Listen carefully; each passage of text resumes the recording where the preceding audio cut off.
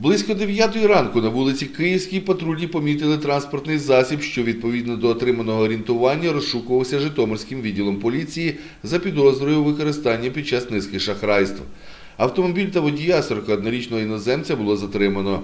Як повідомив начальник Житомирського відділу поліції Михайло Сорока, упродовж березня-квітня до поліції звернулось близько 10 жителів обласного центру із повідомленнями про шахрайство за схожих обставин. Заявники вказували, що до них звертались іноземці із проханням терміново обміняти валюту. Мовляв, їх співвітчизник потрапив у ДТП або раптово захворів і нині потребує операції, на яку необхідні кошти. Шахраї залишали барсетку із валютою, що, як згодом виявляли потерпілі, була просто паперовими фантиками. виманювали значні суми грошей і в подальшому безслідно зникали.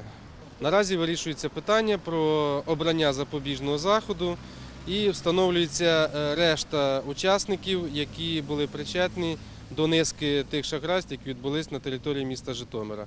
Під час огляду автомобіля було вилучено пакунки з валютою з явними ознаками підробки. Нині встановлено причетність затриманого чоловіка, який дійсно є громадянином іншої держави, до трьох таких випадків.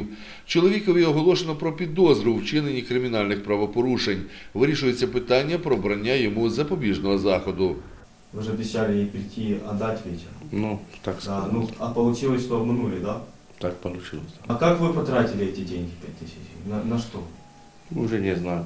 Поліцейські разом з прикордонниками проводять заходи щодо встановлення інших осіб, причетних до згаданих шахрайств. За оперативними даними, іноземці приїздили в Україну лише на кілька днів, ошукували людей, причому не тільки на Житомирщині, та поверталися додому.